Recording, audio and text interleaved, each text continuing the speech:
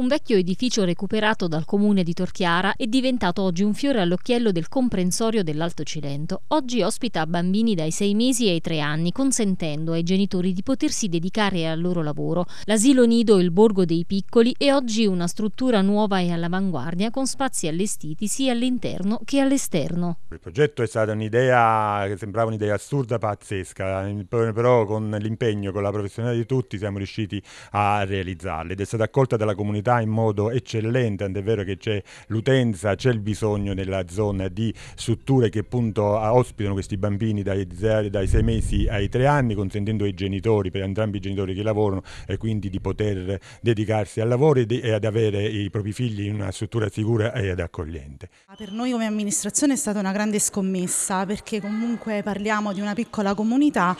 eh, che comunque si sostenta su un'economia familiare, quindi dove i nonni comunque badano ai piccini. Oggi avere qui eh, più di 15 bambini per noi è stata veramente una bella soddisfazione. Uh, un successo dato sicuramente dall'armonia e dal, dalla grande complicità, mi piace dire, uh, dello staff, quindi degli insegnanti e di tutto, tutti coloro che comunque concorrono ogni giorno a far sì uh, che ci sia un'accoglienza adeguata ai bambini. E quest'anno vorremmo, eh, siamo intenzionati ad introdurre anche un percorso di sostegno ai genitori, quindi laddove i genitori avranno uno spazio um, dove potranno confrontarsi confrontarsi anche con esperti ehm, per essere un po' guidati in questo ruolo.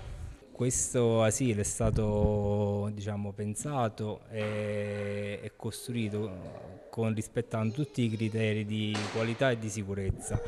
Eh, non a caso abbiamo eh, due aree, un'area interna ludica e un'area esterna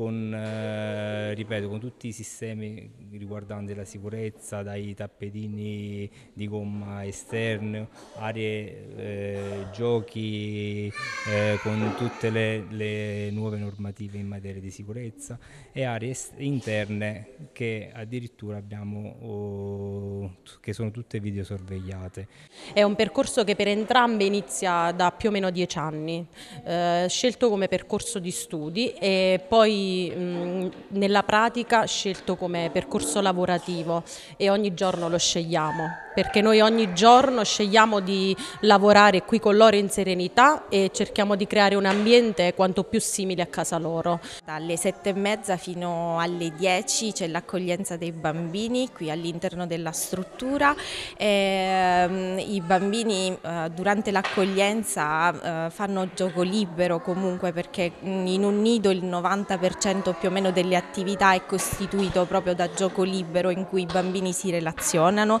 e socializzano tra di loro. Dopo la merenda, il riordino, ehm, si prepara un'attività, eh, attività che possono essere attività di manipolazione, per cui eh, pasta al sale, plastilina, eh, tutto fatto e creato con eh, materiali comunque naturali che mh, mm, non nuociono comunque alla salute dei bambini.